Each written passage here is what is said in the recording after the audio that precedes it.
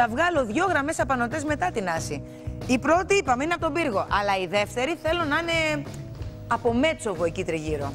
Ευχαριστώ. Καλώς την Ρε, εσύ πραγματικά χωρίς πλάκα.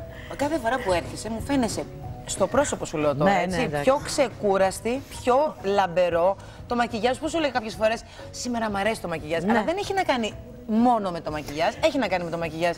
Βλέπω το δέρμα στο πρόσωπό σου. Ξέρεις τι γίνεται. Έχει ξεκουραστεί. Τώρα δεν βάφαμε κιόλας. Δηλαδή, ε, ξέρεις ότι τις καθημερινές και το μακιγιάζ, καλός ή κακός, όταν το κάνεις και κάθε μέρα, εσύ το γνωρίζεις χρόνια τώρα, όσο να είναι, σε κουράζει. Δηλαδή, και όταν το κρατάς κιόλας. Οπότε τώρα Πάντως ναι, τώρα δεν που βάφουμε, ξεκουράζεσαι είναι άσημο, πιο- έχω το θάρρος να σου πω ότι κάνει αυτά που δεν έκανε τόσα χρόνια και, και εμένα δεν χρησιμοποιούσαν ακόμα και αυτοί που δεν με ξέρανε σαν μέσον. Θέλω να πω, αφού έχεις χρόνο και πια ξεκουράσει, κάθεσαι τέσσερις μήνες. Φτάνει. Καλά, μετά. εντάξει, Μη σ' κάνω, άφη. γραφείο. Λοιπόν, όχι, ενώ Κάνω. κάνε πιο σοβαρά από ό,τι έκανες. Γιατί εσύ έκανες τρία ραντεβού τη βδομάδα, Όχι, αν και εντάξει, εφόσον. κάνω, ρε παιδί Δούλεψε μου. το λίγο να χαρεί και ο κόσμος, γιατί ο κόσμος θέλει να έρθει. Με πιάναν άγνωστοι και μου λέγανε πες της κάτι. Ναι. Δεν κάνει ραντεβού. Έλεγα με γυναίκα κάνει 500 πράγματα, είναι κουρασμένη. Δεν μπορεί.